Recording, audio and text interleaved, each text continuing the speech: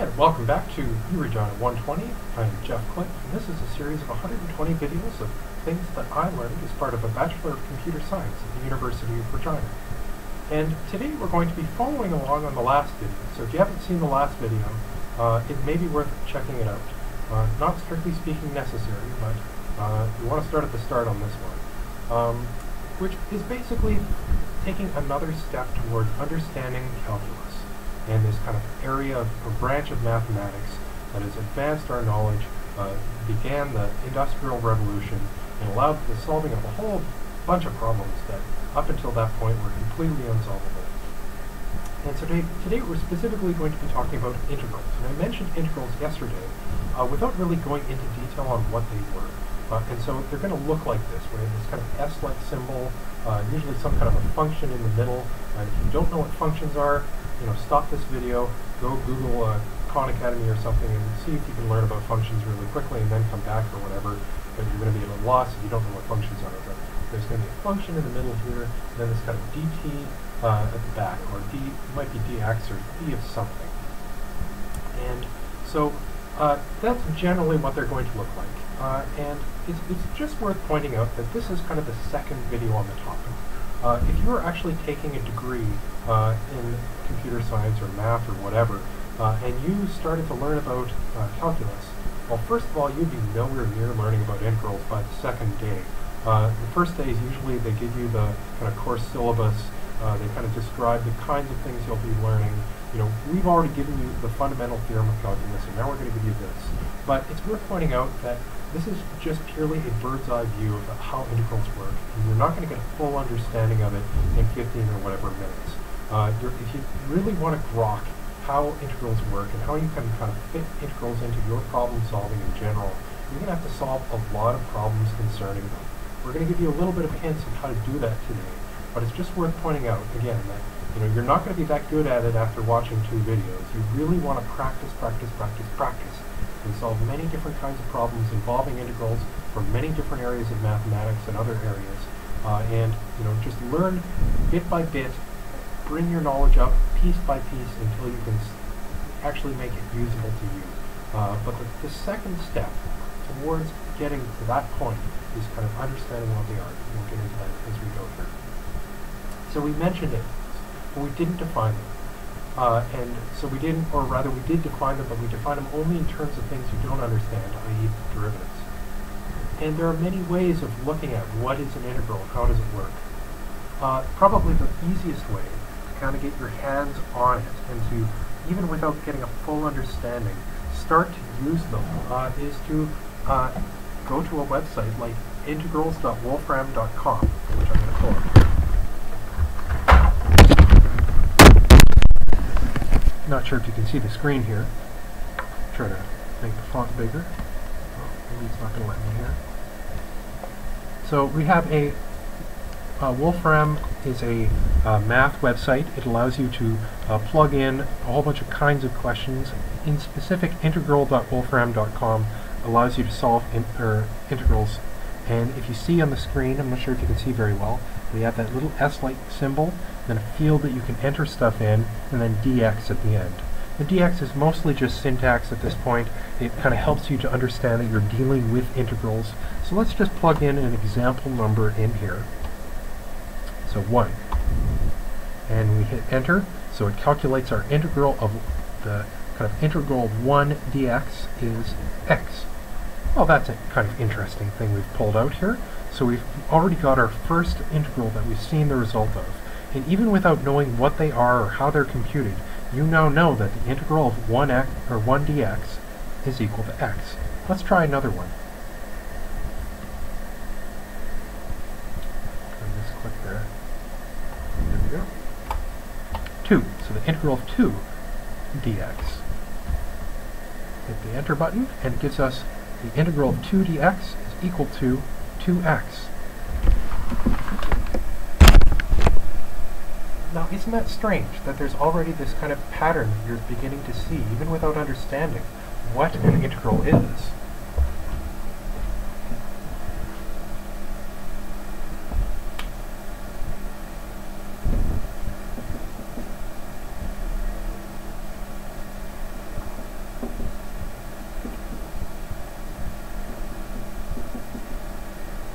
Now, unfortunately, uh, Wolfram didn't actually give us the exact right answer for that kind of question. Uh, since we are dealing uh, with this specific kind of integral, the real answer is x plus a constant c. Um, and so that's unfortunate that the website kind of misled us a little bit. But it kind of gives you a clue that there's a pattern there anyway.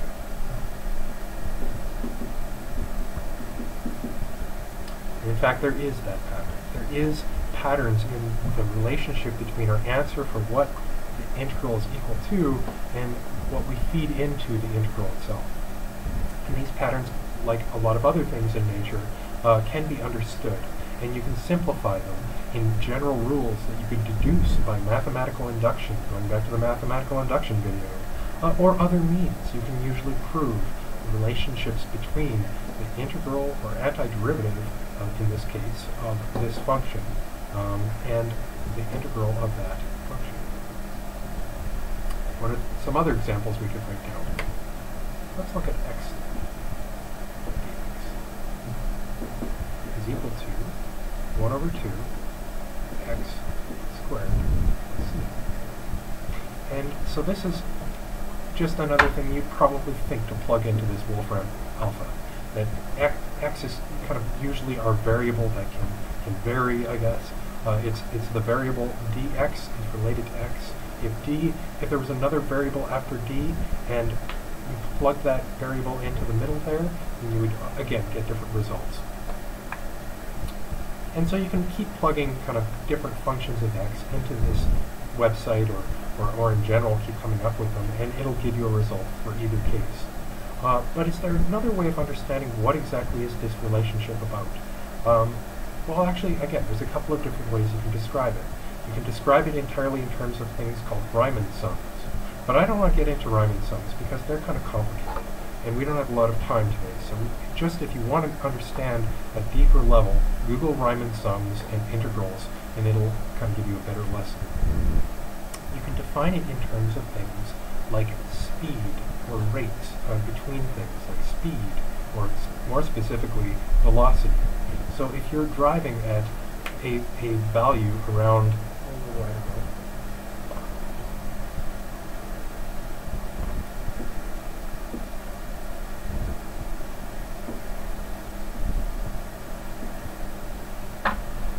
So this is your time axis, and this is your velocity axis.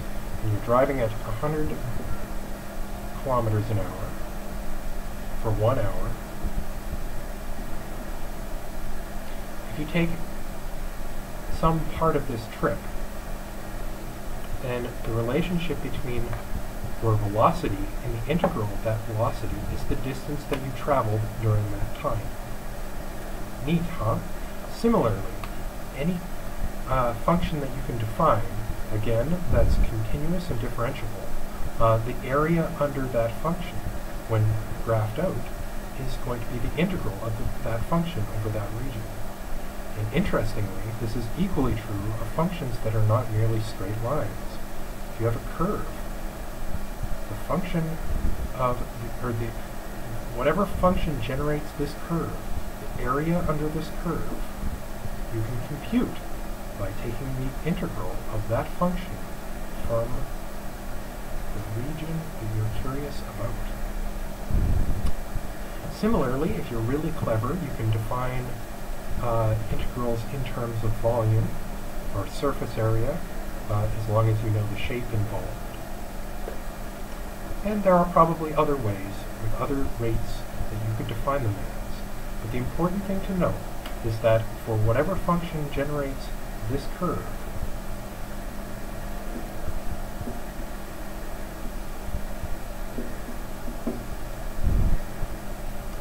this integral is going to define the area under that curve.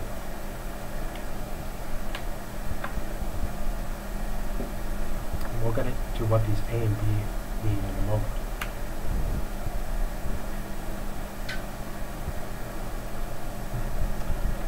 So there are two types of integrals worth talking about. There are what's called indefinite integrals.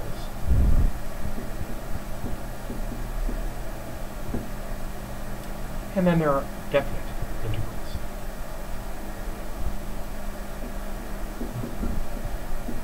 And as you can probably guess from the last graph, they're related to whether or not you've defined the endpoints on your graph in the region that you want to take the area of. If you have, you'll probably get something like this, right? A to B, some curve that's defined, or that defines the area underneath. And that area is equal to the definite integral.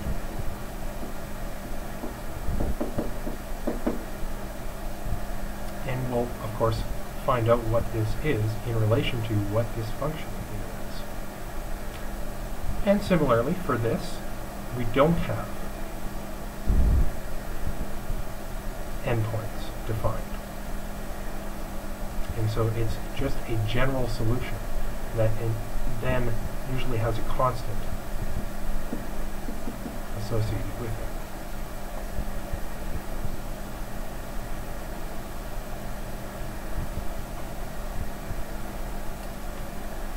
So looking at the indefinite integrals.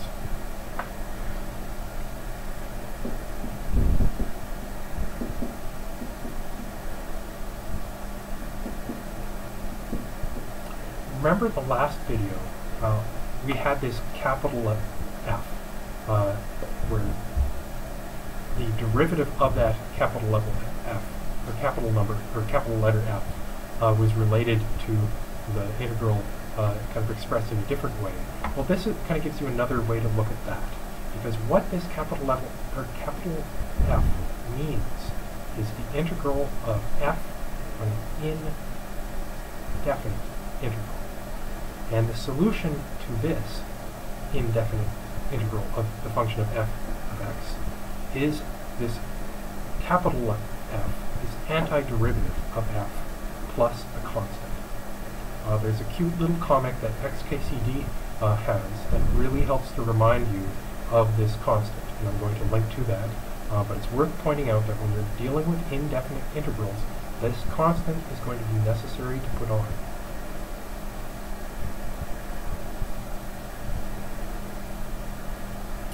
Now, for definite integrals,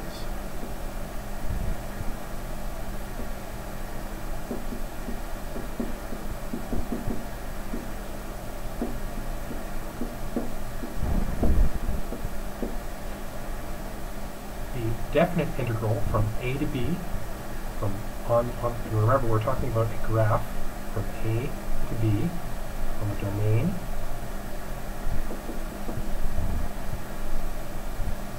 from a to b, and it's going to be the area under this curve from a to b, is going to be equal to the antiderivative FB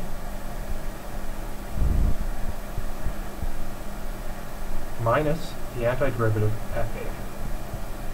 It's kind of hard to draw that. Uh, but you can kind of imagine that once you know how to compute these antiderivatives and kind of come up with the answer in the indefinite case, that you just kind of compute the one from, from generally, and then compute the other generally, and then subtract the two of them. You can even sub subtract the c's from each other, but they just cancel out.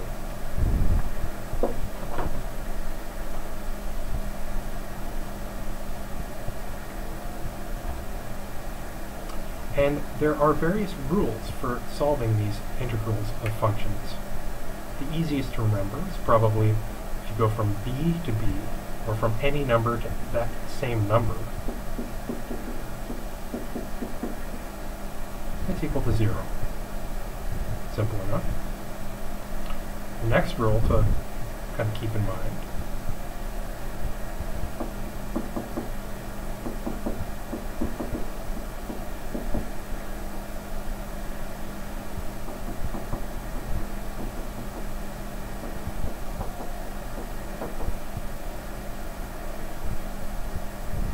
sure if you can read my chicken there, but uh, if you have the integral of x plus g of x over dx, this is going to be equal to the integral of f of x dx plus the integral of g of x dx. so you can kind of use this to break apart uh, combinations of, say, polynomials, uh, so that you can solve each piece individually. And the, the kind of smaller your integral gets, probably the easier, easier it's going to be to solve it.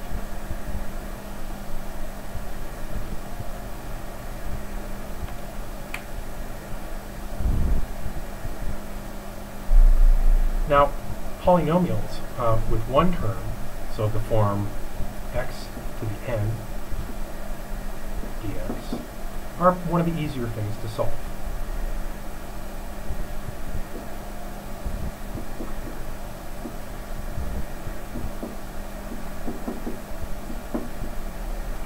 It's 1 over n plus 1 times x to the n plus 1 plus c. But n plus 1 is in the uh, uh, denominator here.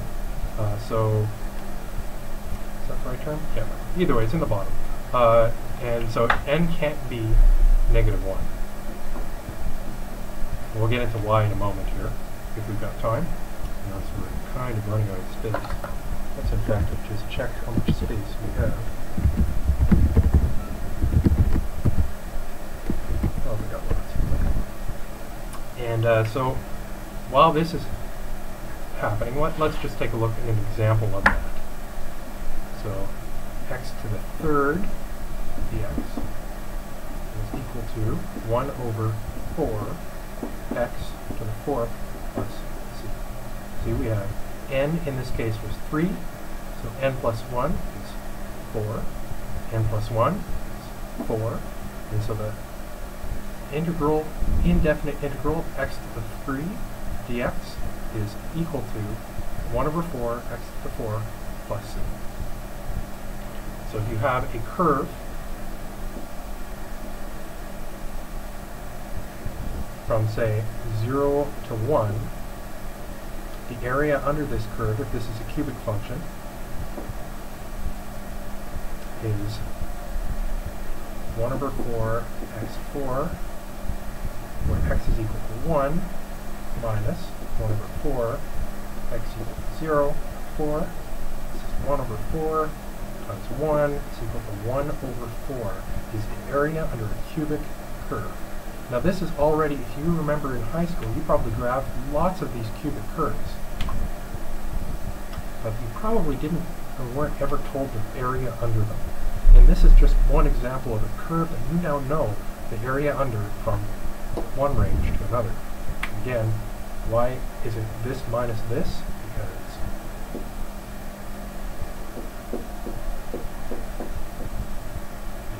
antiderivative on one side minus the antiderivative on the other, where each of these are equal to the indefinite integral, which is over here.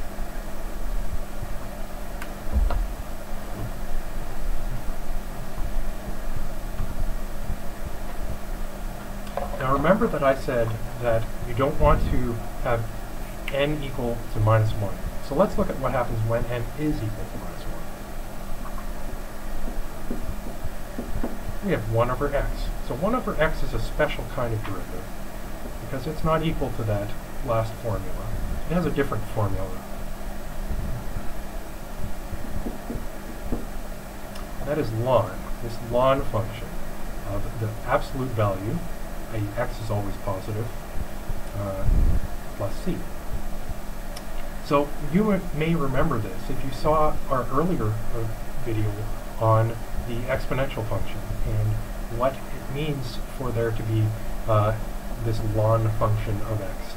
Uh, and so this is a way of relating what this function means to what integrals are and how they work.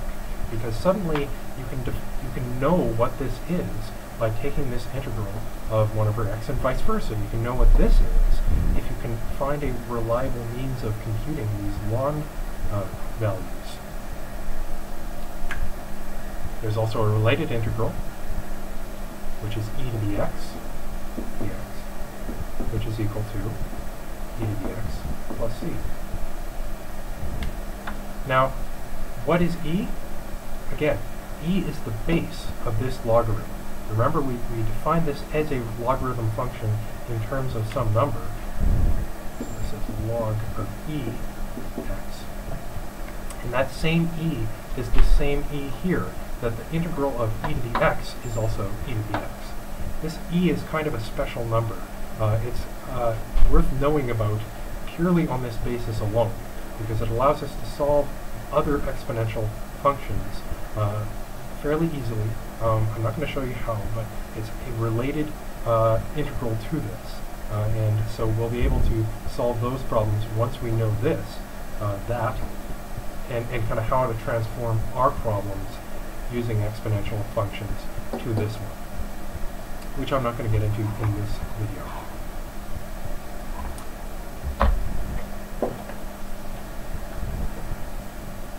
You probably learned a lot of trigonometry in high school.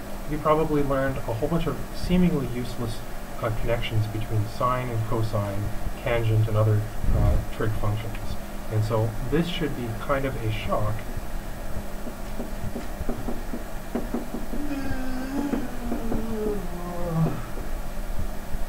because suddenly we have these integrals to give us new ways of connecting this knowledge that we have. And so if we can define things in terms of these kind of trig integrals, uh, or find the area under a curve, for example, that is defined by this cosine function uh, between different parts of the, the curve, again, this is something that's going to be valuable to us. Uh, and so suddenly we, we can know the area underneath all sorts of trig uh, relationships. Uh, again, I'm it's possible to get from this knowledge to a lot of more complicated knowledge, but this is the first, or one step towards that. If you can solve kind of arbitrary integrals involving trig relationships, you can get quite far. And that rabbit hole goes quite deep. There are other means of solving integrals, such as the substitution rule, which I'm not going to get into here. But there are many, many rules and tricks and heuristics and ways of solving integrals that I'm not going to have time to get into, but are nevertheless useful for some class of integral. Uh, and it's worth knowing that once you have an integral, uh, there may be someone who knows how to solve it. And so again, what is an integral? It's the area under that curve. So there's going to be a lot of work in, in involved with learning the relationship between areas under curves and the curves themselves. Uh, and thankfully we have, again, tools like Wolfram Alpha and Wolfram Integrator uh, to help us find these relationships. It's also worth pointing out there are more complicated types of integrals, such as the path integrals or the curve integrals. Uh, I don't know how to use those very use those kinds of integrals very well, but it's worth pointing out that they exist. There's probably even more complicated versions out there. Uh, and remember when I pointed out in the last video where f has to be continuous and differentiable? Suppose you have a discontinuous f. You could have, you couldn't find the area under this whole thing, but what you could do is you could find the integral over the ranges where it's defined. And so that might be a way of splitting up your problem, of kind of finding this integral and then finding this integral and adding them together. That's kind of a useful thing to know how to do too. And if I had more time, I'd actually start plotting out uh, more examples other than just x to the 3 of curves and the area underneath. Uh, but again, we've already gone on 20 minutes here. I don't want to get too far deep into it. Uh, but just so you know, uh, th this getting to this point would usually take a good part of a semester. and just knowing that there is this relationship between curves and the area underneath is a very powerful thing. If you do enough research, you can find out and can kind of learn specific curves and their areas, and learn this in relation to their integrals. And it's a very powerful tool for you to be able to have. Again, I'm not going to walk you through every single case, but just to know that this exists, this relationship exists. And going back to the last video, now you have a way of understanding what derivatives are, because the derivative is going to be the thing. Let's review.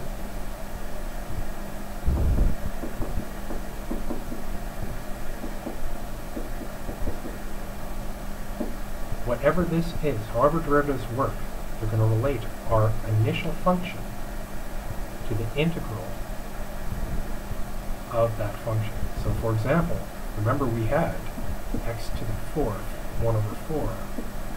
However derivatives are going to work, the derivative of this is going to be x to the third. It's our original function. So we'll get into how derivatives work a little bit more in the next video. Uh, but if you have any questions of how integrals work, or would like an example uh, solved for you, I can't solve all integrals for you, but I can definitely solve some of them. Um, feel free to ask anywhere where this video is posted. Do you have any questions from the audience today? No? Okay. And uh, as usual, there should be a Bitcoin donation address at the bottom here, uh, somewhere. Uh, and uh, so that you can fund our whiteboard marker supply and help keep this video series going. And uh, hope you enjoy. See you next video.